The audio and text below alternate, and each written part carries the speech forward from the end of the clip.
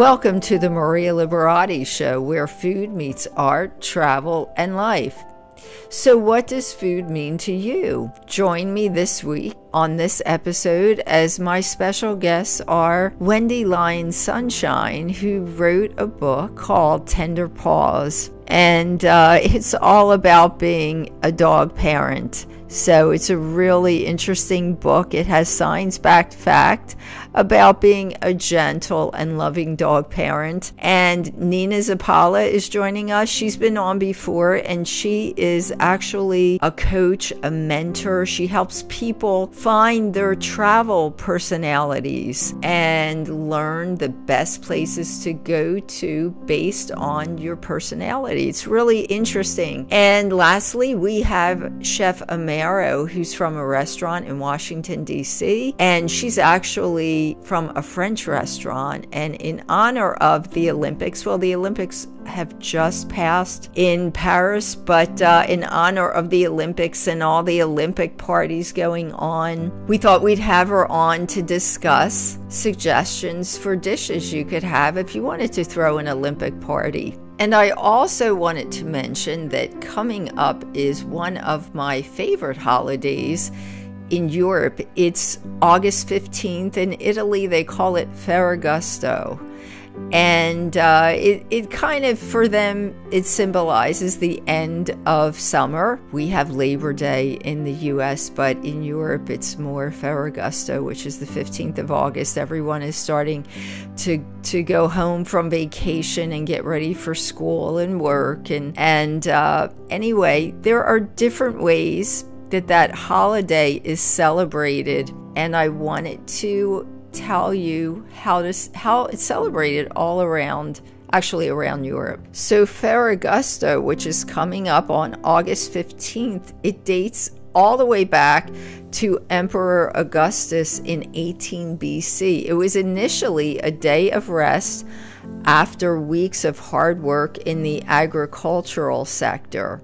And Italians celebrate Ferragosto today, including beach outings, picnics, and there's a lot of religious processions going on, like the Vara di Messina in Messina, Italy. There is a lot of traditional Ferragosto dishes, such as roasted meats, pasta salads, fresh fruits. If you're on the beach in Italy for Ferragosto, people are bringing whole watermelons and uh, cutting up the watermelons there on the beach and having watermelon also. So that's one of the the dishes, but there are many dishes served on the beach or at a picnic wherever you are in Italy. It does have a religious significance to the holiday and August 15th is celebrated as the Assumption of Mary in many Catholic countries.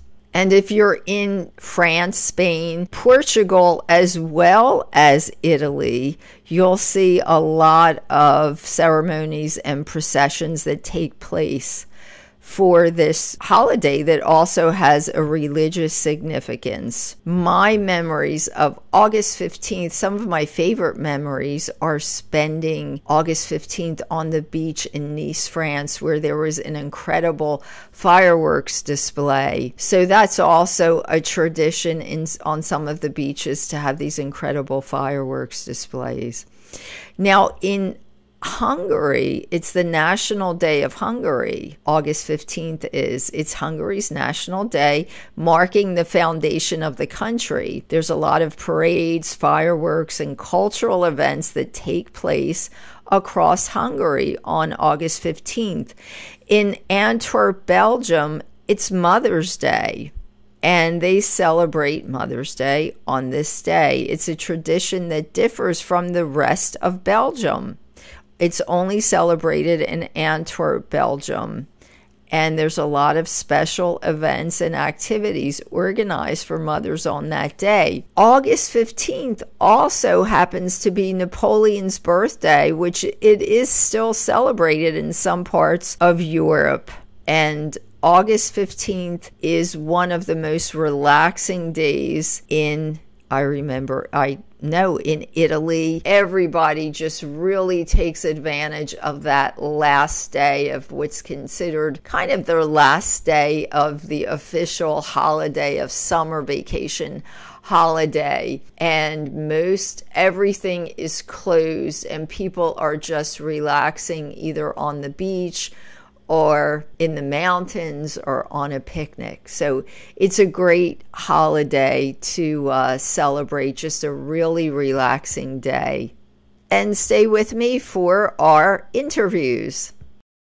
Discover the secrets of authentic Italian cuisine with the Basic Art of Italian Cooking book series. These beautifully crafted cookbooks take you on a culinary journey throughout Italy.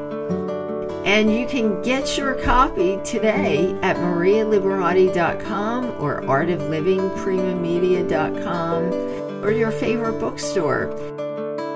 Taste the passion, savor the flavors because cooking is an art.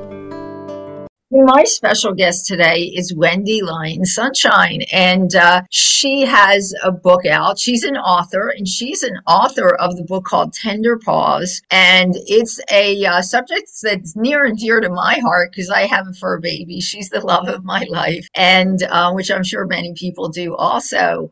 So, uh, Wendy's going to help us on some gentle parenting tips, which I think are really, really important. So, Wendy, thank you so much for being here today today. Oh, thank you for having me, Maria. I'm delighted to speak with you today. So, I just want to ask you first how did you come up with um, this book? Um, what made you want to write this book? Yeah, it's interesting. The book evolved from my own journey, started with a rescue puppy who um, was a little more challenging than I ever anticipated. Uh-huh. And I was kind of at my wits' end and really. Uh, honestly, I was talking to my husband like can we bring her back to the shelter I, I am not qualified this dog is like you know more than I, this puppy is more than i can handle and and he he didn't see it the way i saw it he he he believed in her still and oh, i had good. to and i had to come up with some strategies because things were not going well uh, in the in the dog walking puppy uh-huh. handling uh-huh. department and what i did was i circled back to work that i had done helping write parenting books. Um, I thought, you know, these experts work with some kids who really have some difficult backgrounds. They they maybe were adopted from overseas or from uh, taken from you know child protective service situations, and they really were struggling. And so it takes all the expertise you have to to help a child like that. And I'd helped write this book called The Connected Child. And I thought, well, you know, they're working miracles there. Maybe they can work miracles for me. and and the real miracle was simply to open my eyes and and come at the situation with more compassion and understanding and really um, appreciate what the little puppy was going through try to see it through her eyes and give her more time and and you know space to to be a puppy to process things at her own speed. And helped set her up for success more than I had. Mm-hmm. I just sort of assumed, yeah, you take her home and, and we're good. right. Uh, which most people do and it's not the case they have to i i think people don't realize they're they're beings. They are actual living beings and they have feelings and the whole nine yards and people don't realize that. They have things they have to go through. It's not like it's just a piece of cardboard or a doll that you bring home and they just do what they're supposed to do. So they have to understand that too Right. And the parenting attitude is is really appreciating what our role can be uh, right. and how we can be supportive and guiding them. Uh, and of course, sometimes drawing limits uh, mm-hmm. as appropriate and keeping everybody safe. Yes. But um, helping them helping them feel safe and and uh, and just appreciating that, like you say, they are their own little being. And you know yes. what's amazed me uh, uh, is just how much they look to us for guidance. I mean, they it makes sense that we you know we have we have we're hosting them we've invited them into our homes and we call the shots there so yes. they really depend on us to to advocate for them Yes, exactly. I just think it's so incredible that they each one of them has their own little unique personality and people don't realize that. So if you give them time, you know, and if you spend time with them to realize that, you'll understand their personality, their likes, their dislikes, their you know, their habits and things like that. They have the same, you know, likes and personality and all just like we do. And people don't realize that they do. They think, you know, a lot of people think, oh, that's ridiculous, but they do. They have their own you know their own ways also but um give us since we don't have a whole lot of time but can you give us some um some parenting tips for you know people that have pups Sure, I'm happy to do that. Well, I use an acronym called HEARTS to uh-huh. sum up what are these are best practices for working with children and it works for dogs too. Uh-huh. Okay, so we can borrow these practices. These are just simple principles. Uh, right. The first one, H, is for heal the body. And that makes sense because if you're hurting or you're itchy or you're tired or you're hungry, you're not going to be at your best. And that's true for puppies, it's true for kids, it's true for us. Uh, for E out of hearts, this is where you engage and you optimize the brain. And mm-hmm. that means what's interesting is to do that, we let kids move, we let them use their bodies because the brain is actually activated by their interaction with the world. So they can solve problems and they can play freely. Um, that's why too much restriction in a small place is not healthy for growing kids. It's not healthy for dogs and puppies dogs. growing. Exactly. Um, then we have in hearts, we have the A, which is mm-hmm. appropriate environments with felt safety. Um, and so it's just being mindful of are we putting them in a situation where they're going to be comfortable, you know, uh, not just for one minute, but for a little bit of time if we expect them to spend time there. Um. And that feeling of safety is so essential for kids, it's essential for dogs. Um, and what's interesting is I learned it's not just like a nice to have. Our bodies cannot repair themselves. We can't get the benefit of, of optimizing our brains or anything if if we're feeling unsafe constantly if that's a chronic problem. So right. we think about environment there appropriate environment. And then r is for respectful and secure relationships uh, mm-hmm. which brings out the best in all of us. We we want to be treated with respect. We want to treat the little ones with respect. Uh, and we can do that for dogs right? You know? Exactly. yes. Uh, yes. and, um, it's even the way we handle them when we're walking them and giving them a moment and you know not dragging them around by their neck for exactly. You're exactly right. Yes. Um, and so we have set up a, a, relationship and then they want to cooperate with us more right? If uh-huh. they feel like we've got their back they're they're more willing to engage positively with us. So uh, i love i love that building relationships. Then t and hearts is for teaching sensitively and positively. And uh-huh. you'll notice i haven't use the word training specifically. I use the word teaching because mm-hmm. we teach kids and we can teach dogs. Uh, and we can think of it as they're a learner. We mm-hmm. want to give them the opportunity to thrive and, and set them up with appropriate tasks that mm-hmm. they can that they can succeed in right? right like a little think of a preschool teacher they they give little tasks and then they celebrate the kids participation and doing well and, and making that effort. And when they get it right it's it's a happy thing instead of a scary thing. exactly. Yes. Exactly. And then the last part of hearts is that s which is support the individual. Because as you rightly say dogs really have their own personality. Perhaps they're a different breed. And even within breeds they can have variation. It's quite yes. astounding um, also, depending if they're a senior dog versus a puppy, for example, all those unique aspects of that creature, um, we can honor that and, and be responsive. So that, you know, thinking of hearts, if we can bring those hearts to our interactions uh, with the animals, it's uh, easy way to keep us just pointed in the right direction. It helps us make decisions, I think, um, with heart with heart. exactly, definitely. I think that that's so important. And if you just treat them in a respectful way, as you said, you're going to get that love and respect back instead of just trying to, you know, like you said, yank them around or whatever. It's not the case. And you get so much more out of the relationship when you do that. You actually build a relationship people don't take advantage of that kind of relationship that they can build with, um, you know, their pups. And um, yes, you make a great point. Uh, there's some magic when uh-huh. an animal comes to you voluntarily, and and uh, I mean, I remember neighbor had a, a dog, a beautiful Afghan ha- hound. I've never seen. Uh, um, like a borzoi actually uh-huh. and they're tall regal dogs and this dog was just always kind of watching and I put my hand out and he really wasn't very interested for the longest time. And then one day he'd known me, I guess, however long he needed to know me. He right. just walked up and leaned his whole body up on me. And it gave me the opportunity. He had this glorious coat and he, he just stayed there leaning up. I, I, was like, oh my goodness, I've been approved.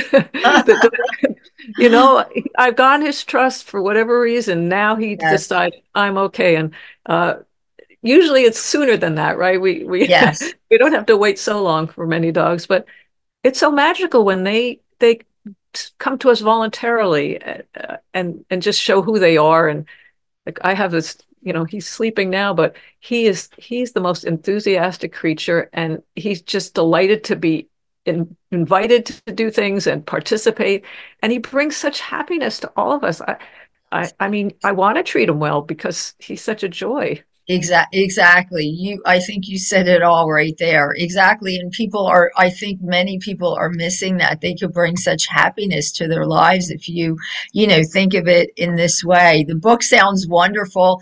So hopefully a lot of people will be getting that and taking um, some of your tips. I think that's such a great approach to raising um, a pup. And Wendy, tell people we're almost out of time. So tell people where can they find the book Tender Paws? Sure, you can find it at your favorite bookseller. It's available online through the usual channels, Amazon, Barnes and Noble. It's also on recorded books uh, through uh-huh. Audible. Um, so whatever you prefer, you can find it. Tender Paws, Great. yeah. Thank, Thank you, you so much. Thank you for being here, Wendy. Thanks so much. Hi, this is Maria Liberati, wishing you a happy summer and hoping that along with indulging in great food and drink, you'll also indulge in my book series. If you'd like to take a trip to Italy without leaving your armchair, get a copy of The Basic Art of Italian Cooking the Basic Art of Italian Cooking Holidays and Special Occasions, and the Basic Art of Italian Cooking Da Vinci Style. Peace, love, and pasta.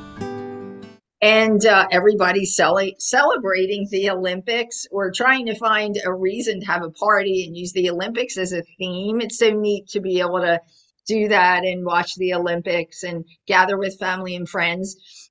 And uh, my special guest today is Whitney Amaro. Am I saying that correct, Whitney? oh, there you go. Yes. Yes. She's a chef and uh, she's from Primrose Restaurant in Washington. And she's going to share with us some, uh, a few French recipes that um, we can share, that we can rather um, have to get in kind of the French spirit of the Olympics and, and make that a theme of your party. Whitney, thanks so much for being here. Yeah, thank you for having me. I'm I'm really excited. I'm a huge fan of the Olympics. Um, I just saw that they won the gold medal, the oh, gymnastics wow. team. Oh, the the US USA. Wow. Yeah. I didn't get a yeah, chance so, to watch it today. That's that is exciting. Yeah, so very exciting. Yeah, so um yeah, so come some of the things that I came up with was I think of like French food and I think of parties. I think of charcuterie boards. Like that's the first thing that kind of like pops into my head. Right. And you can kind of play around with this. You can kind of uh-huh. keep it all French if you want uh-huh. to, or you can kind of throw in some like American twist with some cheddar cheese, maybe right. some Italian cheddar cheese. Um, kind of like make it like your own Olympic board, if you will. Exactly. Um, because it's international really. The olympics are international right. right, even though they're in right. france you can do it international exactly. Right. So the one that i did today is mostly um, for um, like very french inspired. So yes. i figured to do like um, a chicken pate. I love a chicken pate especially in the summertime. It's light. Um, it's just really good with bread. Um, some good cheeses are um, like a Boursin cheese. I really like that. Uh-huh. Um, I also like a good um, sorry, I forgot what I was going to say. Sorry. Uh, a good camembert is really delicious. Uh-huh. Uh, also, La Tur, I know that's kind of an Italian cheese, um, but I think La Tur is just a really delicious, yummy cheese. Uh-huh. Um, and then for the bread, I, you know, just go to like a nice local bakery that sells really good. Um, oh, sorry, my screen just went black. Can you still see me? Yes, I can. Uh-huh. Oh, my screen is Huh. is turned off. Oh well, as long as you can still hear me, then I guess I'll, Yes, I'll I keep going. can, and I still see you. Yes. Okay. So, um, and then just go to your, you know, a local bakery that has, you know, fresh um baguettes. And if not, I fe- I feel like Whole Foods is a good option too for a nice baguette. Uh-huh. But definitely try to source that from like a local bakery. If you have a French one near you, definitely go Yes. there and get get some bread. Um, I think it would be really delicious. Uh-huh. That sounds like a great idea. Yes. And you know, and with this, there's so many options um, that you can do with this. There's so many different types of cheeses. There's so many different types of meats. I Uh-huh. mean, you can pick it from anywhere. Like you could be like, oh, I want to do Italian or I want to do American. I want to do French. You can kind of fuse all of those um, areas together and kind of just pick your own Uh-huh. um, your own your own style with hmm that one. And you're a combination. Yeah, that's great. And I like that because that's kind of very, it's like informal and people can graze and watch the Olympics because probably they're going to want to be focused on watching. But um, you know, that's a great way to be able to munch on stuff and, and watch as well. Good idea. Yes, I And so what other recipes do you have for us or ideas for? So the next dish that I have is one of my new favorites. Uh-huh. Um, so it's just like seared scallops, very simple. And then it's called the soubise, which is just like onions, thyme, butter, Uh-huh. and salt, just like slowly cooked. And you don't brown it. You just let it kind of just slowly cook. Um, it takes about, I usually cook it for about an hour and a half. Right? Um, but if if you were doing this at home, you didn't really have that time, you could just kind of like leave it in your crock pot and Uh-huh. kind of just go go with that. Uh-huh. Um, and it, it is like so tasty. I love dipping bread in it. I think it's good with scallops. I mean, Uh-huh. you could even do fish if you hmm wanted to, like a good sea Sure. bass. Um, even cod would be nice with it. Yeah. Um, yeah, like anything really goes with this. It's hmm delicious. Uh-huh. And then we just top it with a sauce um vert, which is really just a French green sauce. Uh-huh. Um, and we use parsley, chive, tarragon, and chervil. And we kind of just kind of chop all those up. We put a bit of lemon, a little olive oil, salt, and roasted almonds just to kind of give it a little bit of texture. Um, and it's really, it's just, this is really like a nice, fresh, summery like dish. And I also think it's good for the Olympics too, because you don't want to be like slaving over the stove, like cooking for so long. Like the hardest part about this is just like the onions. But if you put them in your slow cooker, you can watch the Olympics while you're kind of cooking yourself your dinner. Exactly. Your Ex yeah, exactly. Yeah, that's a great idea. Yeah, that's an important part. You don't want to cook something that's going to be complicated and then you have to be in the kitchen while everybody else can be at the TV. You want to cook right. something that's easy and in a simple, you know, a simple manner, pr be able to present it a simple way for you too. So, um, yes, and go ahead. I think you had another, a third recipe or third Yeah. idea. So this is my uh it's called kafuti. Uh-huh. Um it's usually they usually eat this in France for breakfast, but I think it's a great dessert, especially for the summertime. I I really enjoy eating this one. It's very custardy, it's light, and you can put seasonal fruit in it. Uh-huh. Um I recommend using if you go online and you like Google this, you can get um Julia Child's recipe, and her Uh-huh. recipe is really, really good. So how are we Um spelling Kafuti?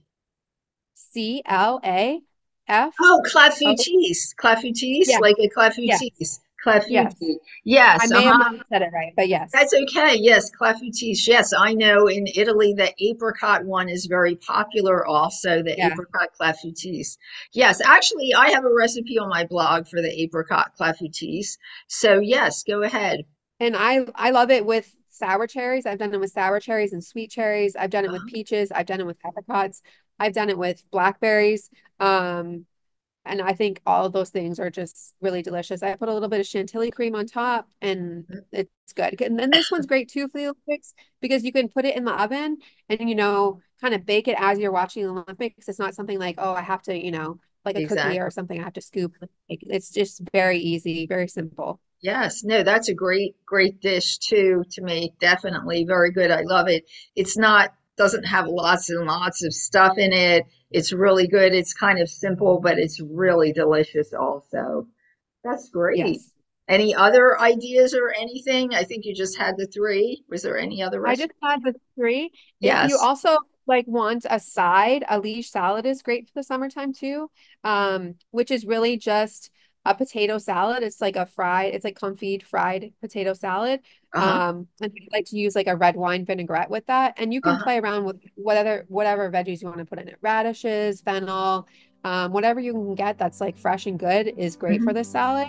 Uh-huh. I've done green with it. I've done Roma beans. Um, and then you just top it with a little bit of bacon. And the vinaigrette is really just like a lot of herbs, a lot of lemon, red wine vinegar. You can use a nice um, aioli with it. It's really, it's really delicious. So we have Nina Zapala. She's been on before, really, really interesting guest. And she kind of helps people find themselves through traveling. And um, she's a guide and a mentor.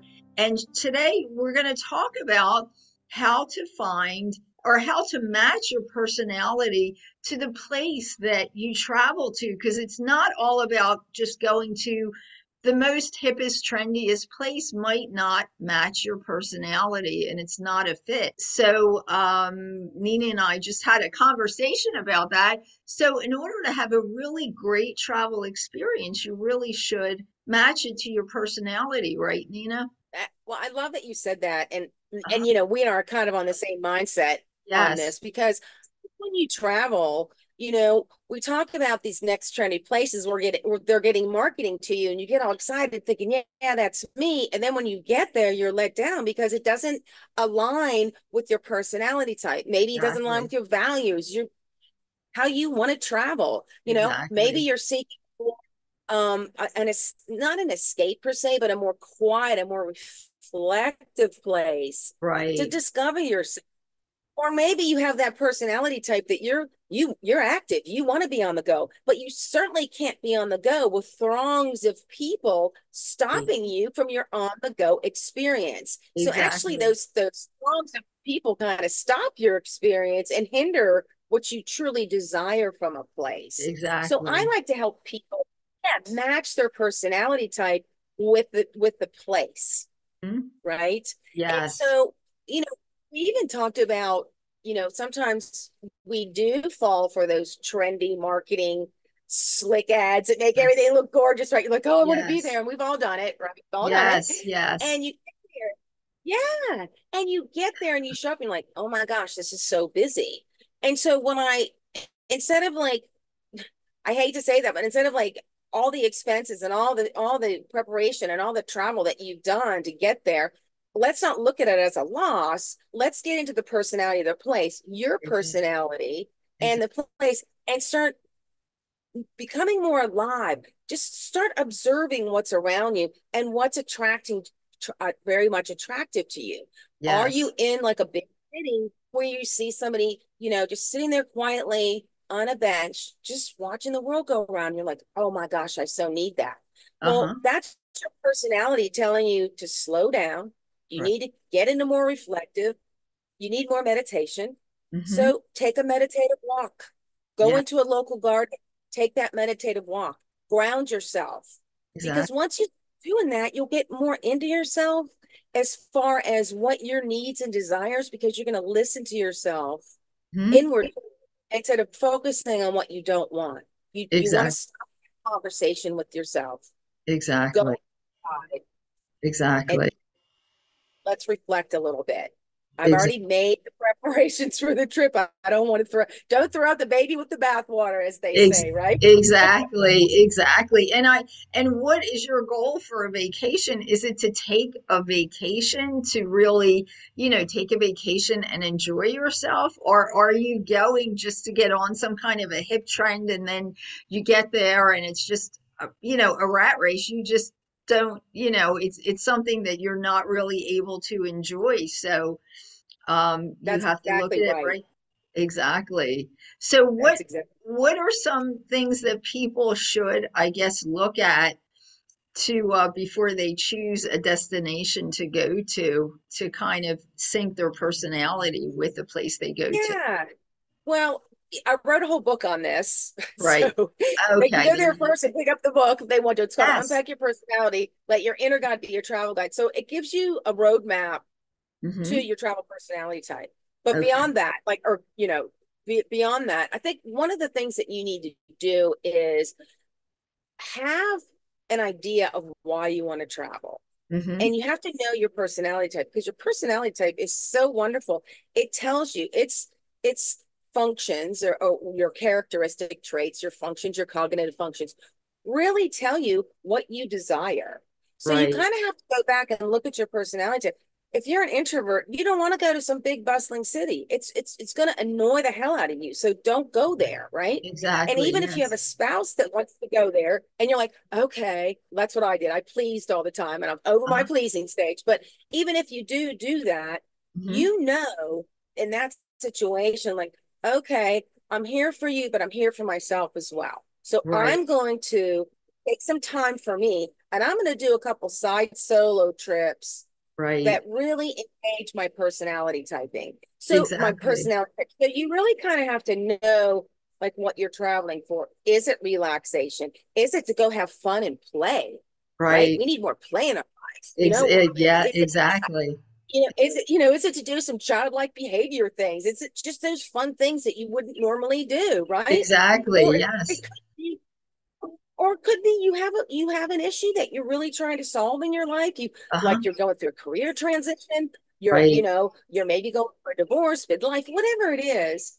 You're you have this big thing that you know you need to change, and being in your life every day doesn't allow that. So exactly. maybe you're there to start exploring that and i call those solutions. Yes. Because you have to go inward right yes. and ask yourself exactly what what do i what do i need at this stage of life? What is my what is my inner guide that higher dimension of yourself that super conscious? What does it need to show me? What does it need to tell me? And when exactly. you're on vacation even lounging by the pool and getting quiet with yourself and observing instead of engaging you'll start it'll start percolating some answers for you. Exactly. so there's a myriad of reasons you travel. Mm-hmm. and your personality type two is is is not just it's not siloed in a box right? Because your personality right. type is your personality type. Exactly. It's your life experiences. It's what exactly. you've experienced.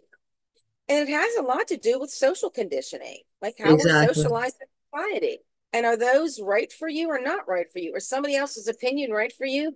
Or are those beliefs no longer serving you?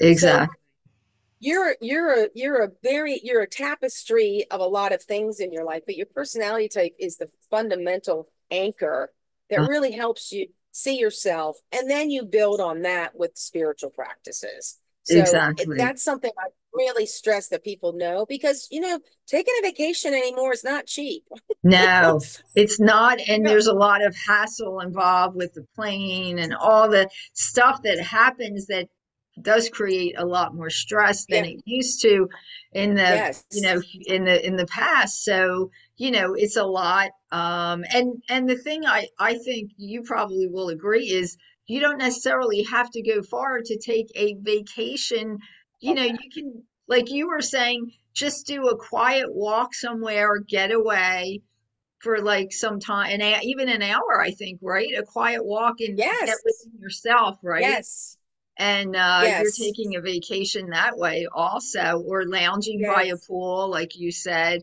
just quietly lounging yes. And kind of reflecting i like to call those micro holidays right they're micro vacations Yes, yes. Because it, it, it is just kind of like it's just you know why I think travel is such a good path for self discovery is exactly what you're saying. Just step away from your daily life. Right. It could be an hour. You Exactly. just take an hour. You go walk in your local park, clear your head, exactly. right? And start getting into yourself. Start thinking about, is this what I want in my life? You know, these are big questions. Or maybe you go play. Maybe you go throw stones on a lake. I don't know what it is for you. Exactly. only you can decide that. But yes. I love that you're addressing that because I feel it's very important. That it Uh-huh. could be. I I did the last three years. All I've done is take road trips. uh-huh. I, I haven't gotten on a plane. I'm just like I'm just going to take road trips yes. because I just want to do that. I don't want to get on a plane right now. Just for whatever reason, that's what I'm being told. So I follow my gut intuition. That's what I've been exactly. doing. And you're Very doing enjoyable. Yes, yes, there you go. And I know I've been taking, I haven't had a chance to take really far away trips in the Right. in the past, say, year, but I've been doing a lot of these what you call micro holidays, and I just love them because no stress involved. I'm not having to pack and get on a plane and make all kinds of arrangements and all that. And they're just so wonderful and lovely. I get to do these little micro, you know, micro holidays, as you call them. Yes. So whatever, you know, but that fits my personality. It may not fit others. It does. It fits Right. my personality. I love it. And it just really, I mean, it does bring me joy because I really enjoy that time. So, um, you know, as you're saying, I think that's why it's so Yeah. important to your personality to Right. pick something that that definitely fits that aligns with you. Yeah. And if you are the person that wants to get on the plane and go, go, go, because there's a lot of people, personalities that, that are very active. They want to go, they want to do, do that. which Yes. is great. I'm that person, but I've decided to lay back on that. But Yes. you know, I offer this, and even in the book, I say, you know, there's some breathing techniques that I say you should have, Uh-huh. like quick techniques that you can just remember in your mind when you're going somewhere you're stressed. You do just a quick breathing exercise to calm you down, to know Right. that this too will work out, even if you're delayed for days. It's gonna work out. Exactly. It's gonna it's gonna work. So let's look at it. So if you're delayed for days, who are you gonna meet? Maybe you who knows? Maybe you meet the love of your life. Who knows what's gonna happen? Exactly. You have to look at these serendipitous moments as divinely inspired because I'm gonna tell you, your inner self always knows what's best for you. What's best for So- you. Yeah. So I feel like even those things, people go, oh gosh, no, no, no. If we're gonna travel, we know that's gonna happen. So let's prepare Exactly. ourselves and Yes. and look at it from a different perspective. Let's Right. just pick up perspectives a little bit Yes. because you have to realize that if you are traveling, it's a privilege. It's a Yes. privilege to travel. Exactly. It Don't it look at it like it's yeah. It's It not this is. following thing that oh my gosh, poor me. No, no, no. We are Exactly. we are privileged to be traveling. So You're let's absolutely right. You're let's look at it from right. that perspective. From that you know. perspective. And, you know, my mom always used to say, when things happen, it's for a reason. So if your plane is delayed, look at it as well. There might be a reason. Maybe, as you said, you'll meet the love of your life, or you'll just meet somebody that's very interesting. I have a few times when my plane was delayed, met some really interesting people Oh yeah. that Oh, yeah. kind of opened my mind to different things, you know, and it, it was just so interesting. So don't use it as a time to stress out, as you're Right. saying. Use it and and as you're saying, when you're traveling like that, you always have to have an open mind and know all kinds of different, you know, delays and things may happen. So use it as an opportunity, make it an opportunity Yes. um, to maybe learn or meet other people, you know, that are in the same situation. try new foods or something. Maybe you're Exactly. to try new foods. There's, If you're at an know, airport, yes, you can try Yeah. new foods, go into the stores, you know, and There's experience much. local. Yeah, there's and a I lot of like what you're saying because it's it's all about it's it's about you're you're talking about shifting perspectives and having a new perspective Right. and sitting instead of sitting in that old self, you know.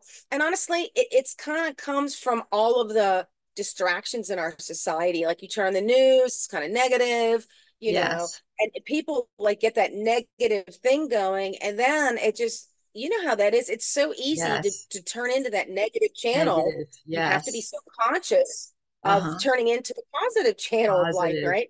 Because this is, you Exactly. know, travel's a privilege and people need to start realizing it's a privilege that, you It know the earth is not a commodity?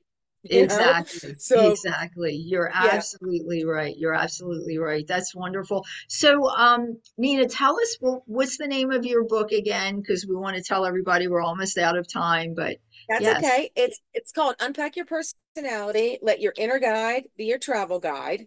okay, And it's on Amazon. Um, it's on everywhere books are sold. I've pretty much gotten it everywhere books are sold. Um, and it really is a transformative guidebook Uh-huh. using personality typing with a modern day twist. I Uh-huh. I've infused it with spirituality because I really do believe that inner guide, that wise inner guide within, should Uh-huh. lead your life yes, and the external that you do and it just expresses through your personality right? exactly. but it uses all the beautiful things about your personality type to express so without your personality type it can't express so you have to be in tune with your personality to let that happen so Ex- it's kind of a new way to think about personality typing but and travel is like we're just saying the great perspective to start discovering yourself it's the perfect time It is. It really Perfect is. time. And to definitely, definitely. So great. All, Yeah. all great tips. Nina, thanks so much for being here. And hopefully you'll we'll Yeah. have you back again in the near future.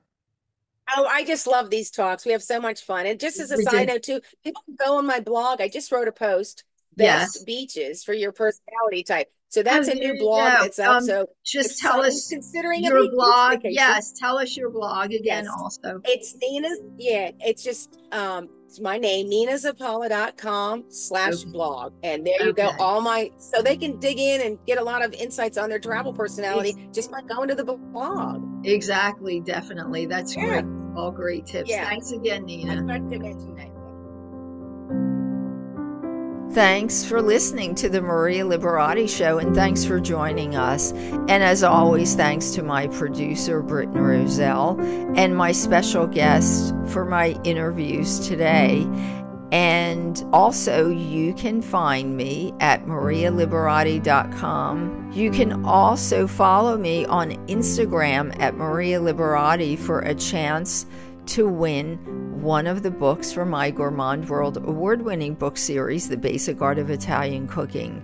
So just follow me on Instagram at Maria Liberati and you'll get a chance to uh, win one of the books. You can also follow me on Facebook at Chef Maria Liberati, on Pinterest at Maria Liberati, on Twitter or X as they call it at Maria Liberati, and videos of the podcasts can be seen on the Maria Liberati Show channel on YouTube. And you can also find videos, cooking, my cooking videos, my TV videos, podcast interviews on Vimeo at vimeo.com slash Maria Liberati. If you are in the Philadelphia, Pennsylvania listening area, you can hear more of the Maria Liberati show on WWDB AM radio on Saturdays at 1:30 p.m.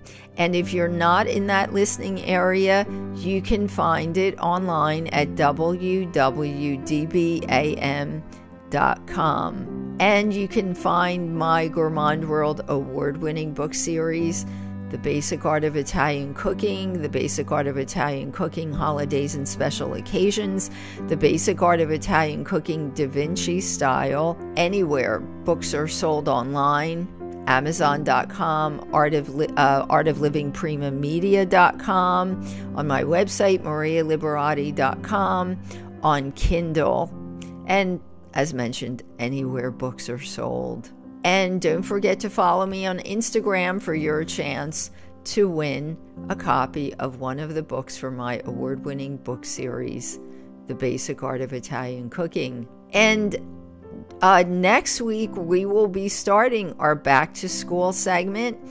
And uh, I have been having fun discovering some and researching some of the best products out there for back to school. So we will have a back to school best of products for 2024. That's coming up also. We'll be talking about some of those products and having some special guests that will be sharing some back to school tips. Yes, it is that time again. Unfortunately, it is back to school time. And until next week, peace, love, and pasta.